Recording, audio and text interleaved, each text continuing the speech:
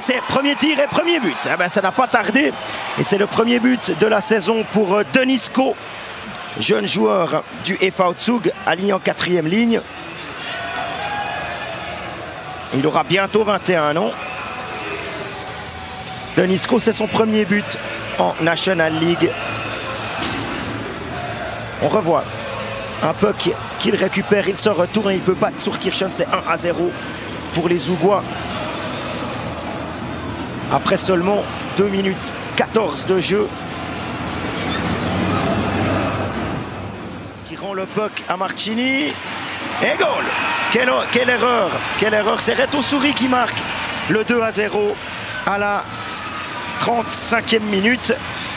Quelle erreur de Josh Joris sur ce coup-là. 2 à 0 par Reto Souris sur une passe alors euh, merveilleuse du, revers de Marcini. Aucune chance pour euh, laissé absolument seul face à l'ailier du premier bloc Zougois. Il avait manqué une grosse occasion dans le premier tiers Souris. Là, par contre, il n'a laissé aucune chance au gardien Genevois. Fortchek, euh, le Fortchek Zougois est un Fortchek connu. Attention, il suffit. 2 à 1. C'est Pouliot qui réduit le score quelques secondes après le but de Souris. On est dans la même minute.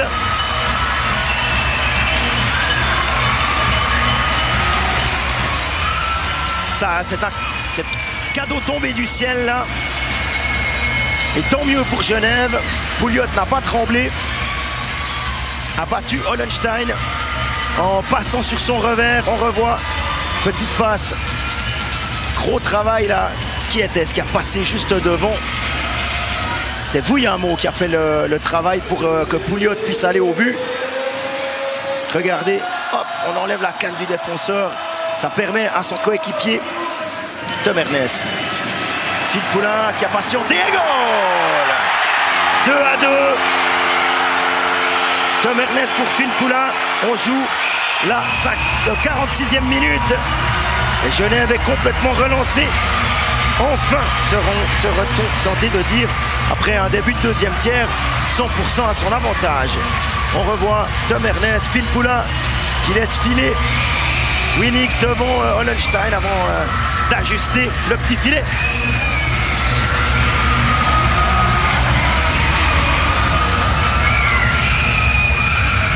Phil qui marque son neuvième but de l'exercice. Tom Ernest avec Sender, tiens, pourquoi pas. Et goal Oh, quel tir Quel tir du poignet Eh bien, je parlais d'Yannick Sender qui n'avait pas retrouvé son coup de patin. Par contre, son tir du poignet, il est toujours là et c'est 3 à 2 pour Zoug. On joue la 55e, premier but de la saison pour le Poissard Yannick Zender.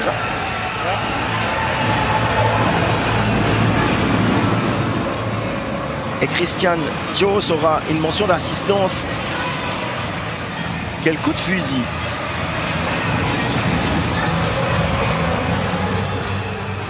Aucune chance, pleine lucarne. 3 à 2. En direction de. Et puis euh, Phil Poula maintenant. 20 secondes, il va falloir tenter sa chance. La déviation de Winnick. Et goal Ils y sont parvenus une nouvelle fois. Et Kovar est, est absolument hors de lui. Et c'est 3 à 3 alors qu'il reste 16 secondes à jouer. Et c'est Pouliot. Deuxième but de la soirée pour le Québécois.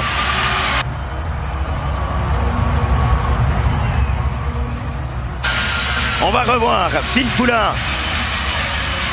Et puis là, ça, ça a pioché sur le gardien. Et Pouliot qui met ce but au fond, ce puck au fond. Mais à mon avis, ils vont aller voir la vidéo parce qu'il y a la crosse de, à ce moment-là, la crosse de Winnick pousse le gardien et c'est possible que les arbitres y aient vu. Avec Muller, accélération de l'ancien joueur d'Ambry qui arrive à se retourner. Ah, c'est superbe. Superbe 4 à 3 but de Marco Muller qui aura essayé, qui aura tenté sa chance tout au long du match et qui est euh, récompensé en prolongation. 4 à 3 pour Zoug, ici au Vernet, pour le premier match de Yann Cadieux.